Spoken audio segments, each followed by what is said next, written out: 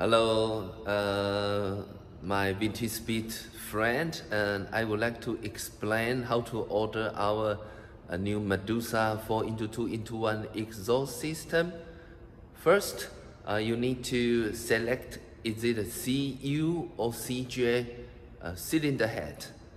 So in America, CU they say uh, square port, CJ they say oval port. So this is the oval port. So if you have the CJ, this is correct. And we do it in two piece here. And this use the Porsche 911 flange and gasket. So this can pre-installed when you uh, assembly the engine. And exhaust can be installed later when the engine is in the car. So when you decide or select the CU or CJ header, now you need to select the tailpipe uh, diameter. Our drift video is a little bit uh, louder sound because we go straight pipe, 63 millimeter straight. That means after two uh, silencer straight.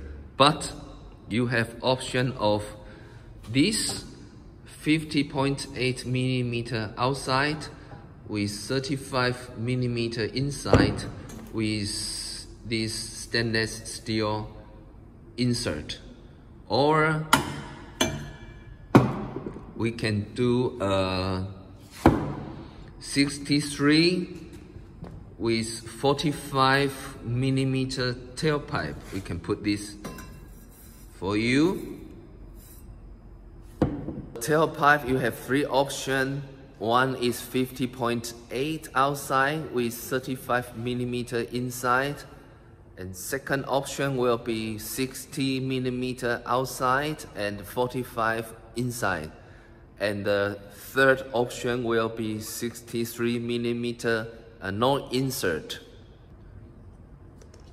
Okay, this is our Medusa 4 into 2 into 1 very simple and all headers come with 42.7 millimeter and our test car is 2.7 liter type 4 and uh, power up to 200 horsepower is no problem